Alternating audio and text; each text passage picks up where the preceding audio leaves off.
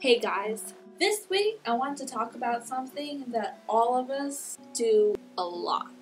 I'm sure you all know what it is.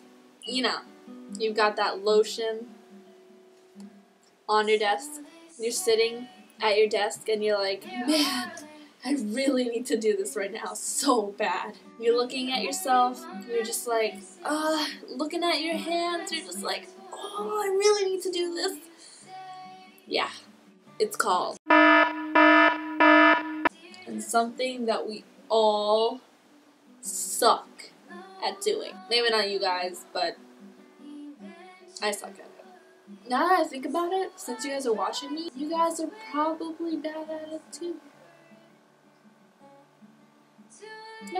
It's the worst. I'll be sitting at my desk trying to do my work. Next thing you know, I'm tuning into KevJumba. Why am I watching you? Don't get me wrong.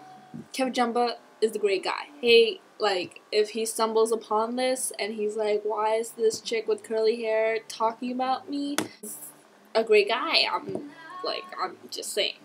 But I mean, I just can't do my work.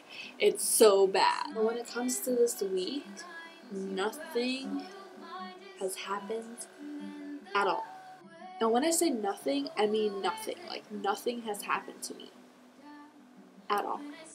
I've just been sick. I mean, look at me. Don't you see these bags under my eyes? And yet, I still bothered to make a video for you guys. You guys should love me. I mean, who makes videos while they're sick? Basically, my point is nothing has happened to me this week. I've just been procrastinating on life, I guess. I've been sick. Does that even count? That's basically this week's life. Actually, you guys should really hate me. I think I'm just gonna end it here. That's this week's Life with Sreya. I hope I see you guys next week, though. That'll be fun. Just kidding, it'll probably be really boring because I have nothing to do with my life. P.S. I need a better camera. This is such crappy quality. See you next week.